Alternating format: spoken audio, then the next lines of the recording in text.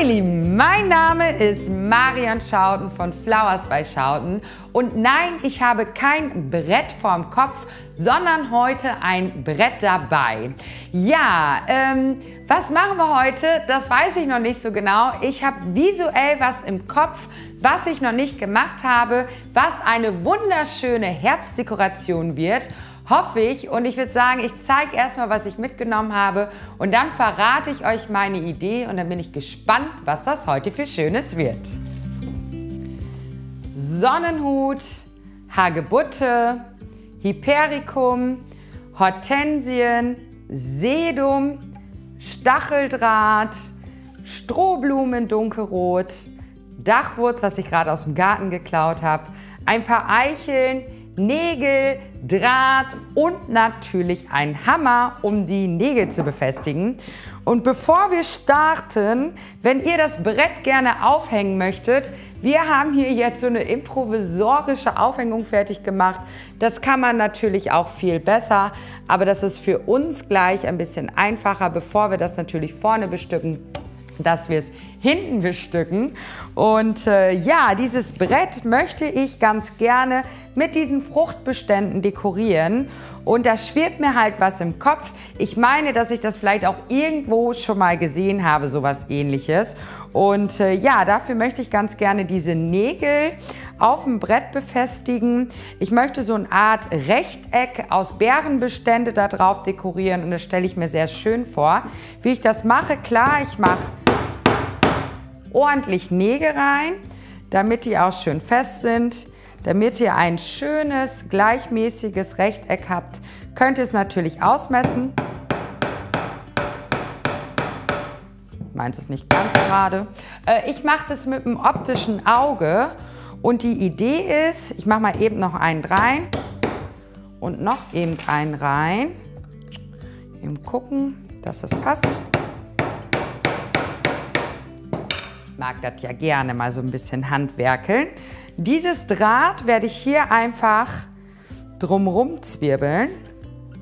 Ich hoffe, ihr wisst, was ich meine.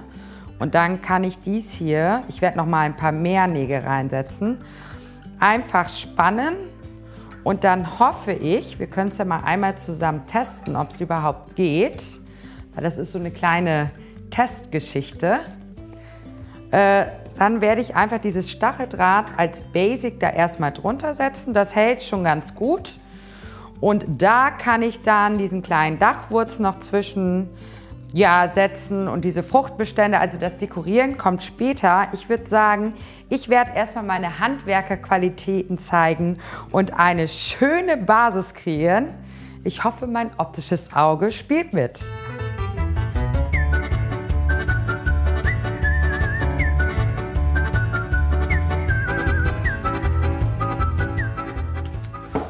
So, ich habe hier gerade meine eigene Gitarre bespannt. Nein, nicht ganz. Aber das Brett, ich finde, das sieht doch schon ganz ordentlich aus. Also wie gesagt, man kann es richtig ausmessen, man kann mehr Nägel reinmachen. Ich habe das schon richtig auf Spannung. Und das Witzige ist, ich bin da so gerade mit am Werkeln. Ich weiß, es ist für Weihnachten noch früh. Aber ich kann mir sehr, sehr gut vorstellen, es gibt ja diese Lichterketten, mit diesem Draht da dran, dass man sowas halt auch auf dem Brett mal bespannt. Vielleicht in Sternform und dann mit diesem Stacheldraht das so ein bisschen auffüllt, damit das halt so ein bisschen durchschimmert. Mal gucken, vielleicht kommt das dann in einem Monat. Kommt das ungefähr hin? Ja, schauen wir mal. Vielleicht ist das noch ein bisschen früh. Aber dies funktioniert schon sehr gut, um das halt so aufzufüllen. Ich fülle das einfach so an den Ecken und dann hoffe ich, dass sich all diese Sachen so ein bisschen befestigen kann in dem Stacheldraht und äh, auch mit dem Dachwurz. Hoffe ich, dass sie ein bisschen die Feuchtigkeit, also das muss man sich halt draußen vorstellen, man kann es natürlich auch reinhängen, aber dass sie noch so ein bisschen durchkommen. Und das kann ich mir halt sehr gut vorstellen. Man kann natürlich auch viel schönere Nägel nehmen, aber dafür habe ich heute, glaube ich, auch mein Freund die Heißklebepistole und ein paar Produkte mitgenommen, wo ich ein bisschen pfuschen werde. Ob man das jetzt komplett füllen muss mit Stacheldraht, weiß ich gar nicht. Ich will auf jeden Fall eine gute Basic und die Ecken, damit es schön quadratisch oder rechteckig aussieht. Und der Rest kommt dann von selber. Und jetzt kommt das Experiment. Dies hier ist, glaube ich, etwas, was jeder sowohl im Kopf nachmachen kann oder dass das funktioniert. Äh, jetzt kommt es an den Hortensien und an dem Rest. Hoffe ich, dass ich das hier einfach so ein bisschen reinspindeln kann und hier und da dazwischen setzen kann. Aber ich muss sagen, das sieht schon ganz gut aus. Ja, diese Hortensien, die haben wir gerade in so einer Nacht- und Nebelaktion einfach mal eben gepflückt bei meinen Eltern. Meine Mutter sagte nur, Marion, was war das? Ach du, nur so ein paar schöne Hortensien. Das hält, glaube ich, schon ganz gut. Man muss vielleicht zwischendurch immer mal den Test machen, schauen, wo ist oben und unten. Aber das hält eigentlich super. Und farblich finde ich das auch sehr schön. Das werde ich natürlich gleich auch noch mit der Sedum machen. Also die Hortensien, die plustern das nachher ein bisschen mehr auf gehe ein bisschen mehr Volumen, da möchte ich die Hagebutte da so ein bisschen reinspringen lassen. Man kann natürlich auch kleinere Stückchen nehmen. Und zum allerletzt werde ich dann einfach diese Eicheln und diese schönen, wunderschönen Strohblumen und äh, Materialien reinkleben. Alles, was auf jeden Fall nicht hält. Also jetzt wird es wirklich die Heißklebepistole wird wieder auf Vordermann gebracht. Und ich würde sagen, ich teste mein Experiment und wir schauen mal, ob es nachher gelingt.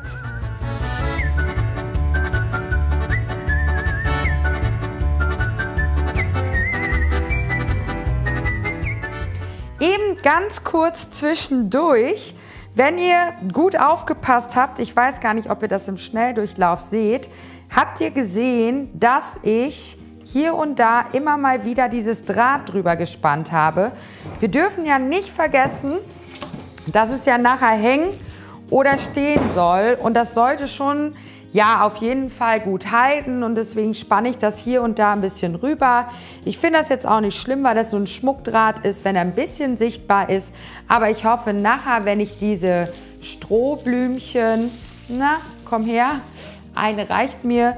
Hier und da, wenn ich die da noch zwischensetze, es gibt nachher noch so einen farblichen Highlight, äh, dass ich hier und da noch ein bisschen was äh, vertuschen kann. Und auch mit den kleinen Eicheln. Ja, ich bin gerade am überlegen, wir können ja mal eben zusammenschauen, ob wir noch diese Hagebutte mit reinsetzen sollen. Ja doch, die muss da noch ein bisschen mit rein. Ihr wisst ja, dass ich das gerne mag mit diesem Farbspiel. Und wenn dann nachher noch diese mit reinkommen und noch ein bisschen dieses Rötliche, dann wird es wirklich ein richtig cooles Potpourri aus diesen schönen herbstlichen Fruchtbeständen und ein richtig cooler Eyecatcher für vor der Haustür, an der Haustür oder einfach an der Scheune, da wo es hinpasst. Auf jeden Fall eine sehr coole Outdoor-Dekoration.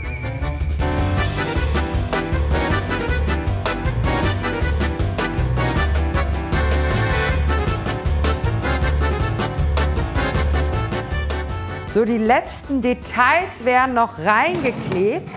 Also ich persönlich finde, dass es wirklich sehr, sehr schön geworden ist.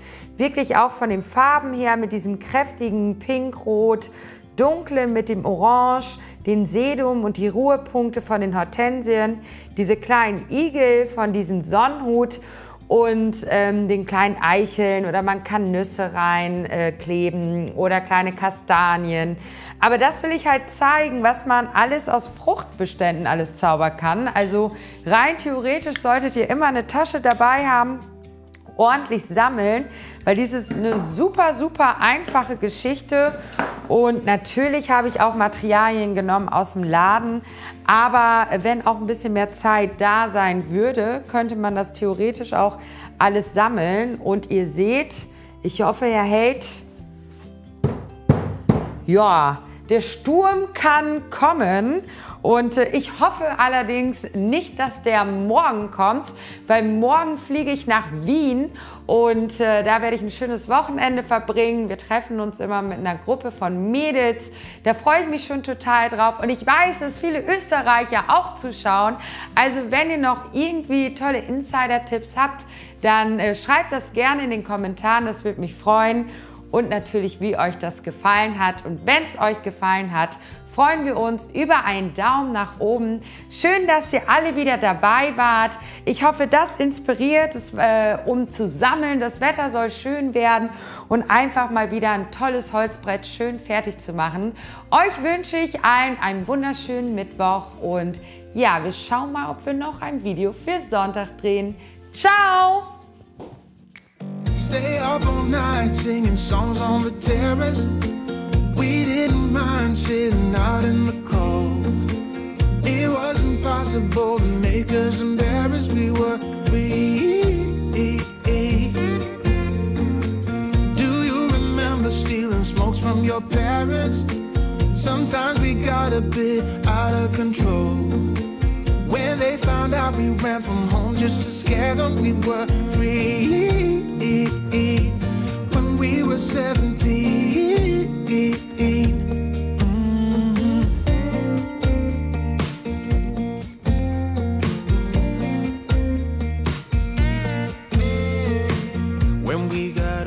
Also ich glaube, das wird mein zweites Dekoteil sein bei uns zu Hause.